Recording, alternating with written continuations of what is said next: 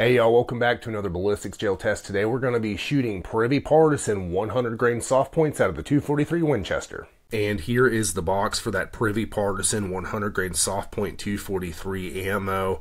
Go ahead and flip it around. Nowhere on this box does it give velocity information. It is listed on their website, but nowhere on the box does it mention velocity or anything like that. So not a whole lot of info on the box. Let's go ahead and pop it open, take a look at what it looks like. And I am filming this clip after the fact. I forgot to do this while I was out at the range, so I did fire a few rounds. Here it comes with a little plastic divider inside of a cardboard um, sort of case. Pull this out. I mean, it's nothing fancy, nothing special. The brass is a little scuffy looking, but it's not dingy or dirty or anything like that. I can't wait to shoot it. Let's go check it out. And my test rifle today is my Winchester Model 70 Featherweight Compact, chambered in 243 Winchester, of course. It's got a 20 inch barrel. Up top, I've got a Leupold FX2 6 power scope. And coming on back, I've got one of my handmade leather cartridge cuffs. I've got 243 stamped right in it. Check out my website, masonleather.com. It will be linked in the description and the pinned comment. I would absolutely love to make you one. And coming over the other side, I've got my whitetail deer design. We'll be taking three shots from 100 yards, firing into 10% ballistics gel that has been calibrated to meet the FBI's ballistics testing protocol. And while ballistics gel isn't an exact proxy for big game, it does provide a repeatable medium through which to test various bullets and ammo against each other. After the shots, we'll examine bullet expansion, weight retention, penetration, and velocity. My goal is to provide hunters like you and I with the most objective information possible to help us make the best choice for our particular hunting situation. The ballistics gel in this video has been sourced from Clear Ballistics. You can find a link in the description. So let's go ahead and shoot it.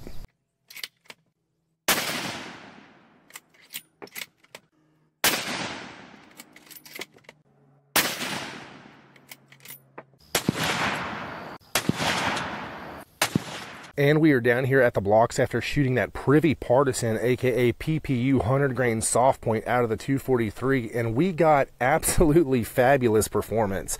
Let's go ahead and take a look. We captured all three bullets. We've got one at the 17 and a half inch mark and two that are right about the 19 inch mark coming on down. It looks like they all expanded well and held together pretty good. Penetration depth is consistent. Let's go over and take a look at the first block and it looks like we have terminal wound cavity opening up at about the really starting at about the one inch mark coming on back opening up and then ending at about the nine inch mark on par with a lot of the deer loads we have tested. We did get some fragmentation right here so it'll be interesting to weigh these and see how much retained weight they got but not only that, I want to show you something really cool. So every time I've started doing this, before I actually shoot the gel blocks, I will shoot my target board that's right next to my gel blocks to see where that particular load is hitting. Because I'm sure you can understand, I'm not going to re-zero the rifle for every load that I test. I've got it zeroed for a particular load. The other loads are going to hit wherever they hit, but I want to know where they hit so I can adjust my aim on the blocks and actually get hits on the gel. Before I fired this Prvi Partizan, this bottom of the barrel budget ammo, at the gel, I shot a three round group at 100 yards and it is sub MOA. Check this out. So here's my target board that I use and I was aiming right here. I have my rifle zeroed with 95 grain Federal Fusion and so these 100 grain PPU loads hit quite a bit high. From the center of that hole to the center of that hole is 7 eighths of an inch. That is a 0.875 inch group with budget ammo. I don't know about you, but I think that is really, really cool. And then something else, when I fired that ammo, it had noticeably more recoil, noticeably more muzzle blast. And I was looking at the chronograph between shots. This stuff is cooking along. We're going to talk about this later. And for those of you with poor spatial reasoning, I have no doubt someone in the comments would say, oh, that's not a sub MOA group if I didn't do this. Here you go. I've got the three inch hash mark centered on the left hole and it's seven eighths inches over to that one on the right. Boom, sub MOA, son.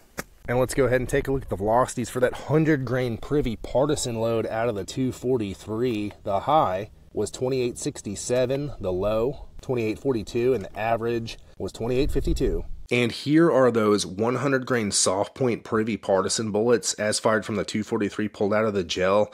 Y'all, I am extremely surprised and floored by the performance of this load, especially considering that it is by far the cheapest 243 hunting load that I have been able to find. We actually saw some pretty incredible performance, so let's go ahead and go over it. Weight retention wise, we saw 57 grains, 67 grains, and 83 grains respectively for an average of 69 grains retained weight, and that 69% weight retention. There is a bit of a range there between 57 and 83 on the low and high end, so you do get a little bit of variability. But for what this is, as fast as it was going, I'm actually kind of happy with the 57 grain lower retained weight, considering that this is some just ultra budget ammo. And then on to expansion. Again, a little bit of variability here. We saw 0.44 inches, 0.58 inches, and 0.63 inches for an average of 0.55 inches expanded diameter. Overall, that works out to 2.3x expansion, which is on the higher end of what we've seen with 243 loads. And even the smaller one, the 0.44 inch expanded diameter bullet, that's still 1.8x expansion, which is kind of par for the course for a lot of 243 loads. That's not actually on the low end when you consider all the loads I've tested. And now on to velocity, and that's where this load shines the most. Our high velocity was 2867, our low was 2842, and our average was 2852 versus the factory billed velocity, which I was able to find on their website, of 2969. So on average, we did come in 117 feet per second slow, but remember, we're shooting this out of a 20 inch barreled carbine, a compact little 243. So to get 2852 feet per second on average is incredible. This is the fastest 100 grain 243 load I have tested thus far. In fact, it's the fastest 95 or 100 grain bullet I've tested thus far. And when I fired it, y'all, I could tell. I could tell this stuff was loaded hot. It had more boom and more kick than any other 243 load I've tested so far. And then on to penetration. We saw 17 and a half, 19 and 19 inches respectively for an average rounded up of 19 inches of penetration.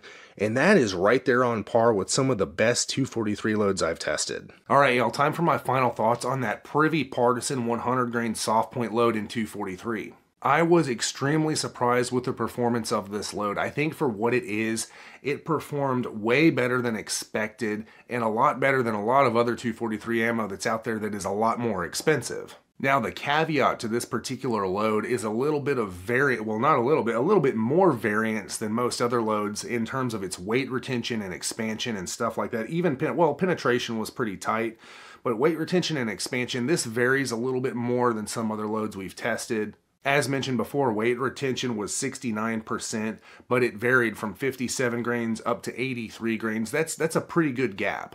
And then expansion was also really good, 2.3x overall, but it varied. The smallest bullet was 0.44 inches across, the biggest was 0.63 inches.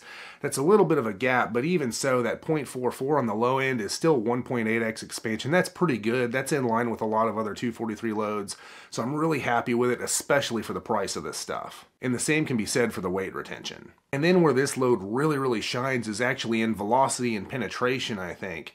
Whenever I fired this load out on the range, I could tell this bullet was cooking. It was loaded hot. It recoiled quite a bit, well, not quite a bit. It was very noticeable, more than some other 95 and 100 grain 243 loads. It had a louder report. I knew that I was going to see higher velocities. And that's exactly what we saw. I've got my cheat sheets here. This particular load, the Prvi Partizan 100 grain load, on average was 100 feet per second faster than the Hornady American Whitetail 100 grain load out of the 243. That video might not be out yet. 100 feet per second faster. It's the same weight bullet. It's a lot cheaper. And honestly, performance wise, it was as good or better. It's it's kind of equivalent to that load. Watch that video when it comes out here in a few days if you're watching this as soon as it has come out. Um, also, it came in over 100 feet per second faster than Federal Fusion 95 grain. So this Prvi Partizan stuff, they're, they're putting a few more grains of powder in it. And then penetration wise, it compares very favorably to a bunch of other 243 loads 19 inches on average, very consistent. We had 19, 19, and 17 and a half. That's right there in the ballpark. And that's where a lot of 243 loads fall. They fall between sort of the 16 inch and 19 inch mark. And with this, we're right there at the top of that. I'm extremely pleased with how this performed, especially for the price. If you're looking for a budget load for your 243, I think this Prvi Partizan 100 grain soft point load could be right up your alley. Personally, I wouldn't hesitate to hunt with this stuff at all. And also, interestingly, I don't know if I rolled this into the video. I don't remember whether I filmed it or not. I'm filming this after the fact, but this particular ammo was incredibly accurate out of my Winchester Model 70 Compact. I got a sub MOA group from 100 yards with this super duper budget ammo. And I'm, you know, I'm not particularly trying to shoot for good groups here. I was just shooting on the target behind my gel blocks to see where the bullets would hit so I could aim at the block and actually hit it. Because I don't re-zero the scope every time for every load, that would be ridiculous. So I think I rolled that into the video. This stuff was very accurate in my rifle, very pleased. Um, and then kinetic energy wise, I want to hit on that with this load. This load had very high kinetic energy for a 243 with a 100 grain bullet averaging 2,852 feet per second at the muzzle. We're looking at 1,806 foot-pounds of energy. That is substantially higher than most 243 loads in the 90 to 100 grain bullet weight class.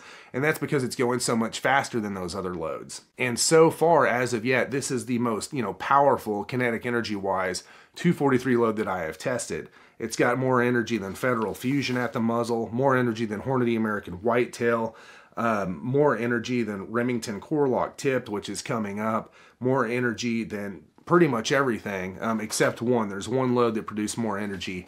All in all, I'm extremely pleased with this ammo. If you can't tell, I keep saying that. If you've got some, give it a shot. If you've used it before, let me and everybody else know how it did down in the comments. Hey, if you enjoy these videos, check out my website, masonleather.com, and get yourself some leather gear handmade by me just for you. I've been handcrafting leather gear for hunters for over a decade and I would love to make you something. The link is in the video description. And check out my channel for more hunting ammo ballistics gel tests. I have some big news. Lots of you have emailed me or commented how much value you get out of my videos. And you've asked me how can you be a part of this and help support the channel? Well, I got to work and now I have a way. I've created a Patreon account where you can join me in helping our fellow hunters. Click the link in this video's description and watch my Patreon welcome video, where I describe to you how your help will impact this channel and our community of hunters as a whole. And when you join me on Patreon, you'll get a lot more than I can give you here on YouTube. You'll have to go watch that welcome video linked in the description to find out the details. I'll see you there.